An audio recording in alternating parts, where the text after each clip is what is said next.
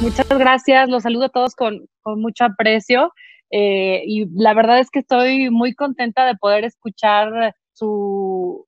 su prioridad y nuestra prioridad que debe de ser como comisión, el hecho de poner a la obesidad por fin en el centro de las decisiones. Eh, creo que como nutrióloga, pues, ya de, profesión y, y, que tengo ejerciendo este, esta noble profesión desde hace muchos, muchos años, me ha tocado vivir en carne propia lo que implica el no tener un sistema de salud que vea la prevención y a las medidas verdaderamente de un combate a la obesidad reales, pues eh, ver realmente la problemática que esto conlleva. Y esto lo hemos visto sobrepasado y mucho más evidente en esta contingencia en donde hemos visto tal cual como todos los datos que nos muy atinadamente nos presentan todos los que nos antecedieron con el uso de la voz, eh, sobre los efectos que tiene la obesidad y el riesgo tan grande que tiene nuestra población mexicana y la urgencia que, que debemos de tener como, como legisladores y como eh, personas que tienen en sus manos la oportunidad de poder modificar las verdaderas acciones, deberíamos de poner al centro verdaderamente acciones que verdaderamente modifiquen eh, este mal hábito que ha sido el dejar a la obesidad como un tema secundario y solamente como discurso y no como una verdadera opción celebro en realidad que, podamos como comisión eh, podernos poner de acuerdo en un grupo de iniciativas, no solamente esta, en donde verdaderamente podamos hacer una estrategia en donde pueda modificar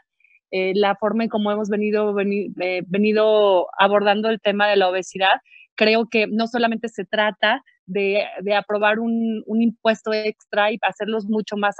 inaccesibles para poder verdaderamente dar una respuesta a la obesidad, recordemos que las bebidas azucaradas y muchos de los alimentos que el día de hoy están sobre la mesa ya tienen un, un impuesto altito y cuando se aprobó en su momento se acordó que ese impuesto iba a ser iba a ser eh, ejercido justamente para la prevención y esa es una acción que hasta el día de hoy no hemos visto. Hemos visto que, que no se le está dando el recurso correspondiente y necesario y creo que antes de aprobar un, un impuesto extra, deberíamos de asegurarnos que el impuesto que ya tienen verdaderamente vaya al ejercicio real del combate a la, a la obesidad y a la prevención. Eh, me gustó muchísimo varias de las ponencias que acaban de poner sobre la mesa, más no escuché eh, que el papel que tenemos los nutriólogos en una en materia de prevención y creo me encantaría que en un plan integral que pudiéramos eh, eh, trabajar en conjunto pudiera tener un, enfoque mucho más preventivo y que en todas las clínicas de unidad familiar pudiéramos tener mucho más personal que nos ayuden a, a tener verdaderamente educación alimentaria y que más allá de ponerlos inaccesibles, empecemos a educar a nuestra población, que tengamos la oportunidad de poderles ofrecer eh, el conocimiento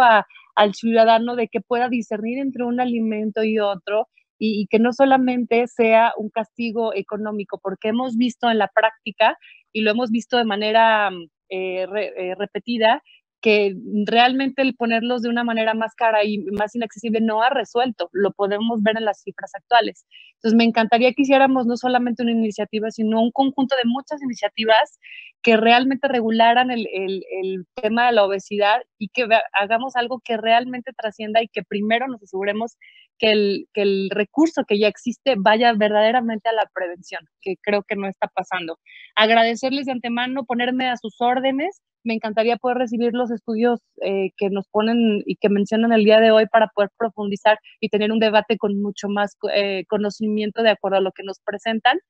y ponerme a sus órdenes y encantada la vida trabajar en conjunto, más sí poniendo en el centro una verdadera eh, política pública y un verdadero eh, cambio que no sea solamente en un, en un tema recaudatorio. Es cuanto y les mando muchos saludos a todos.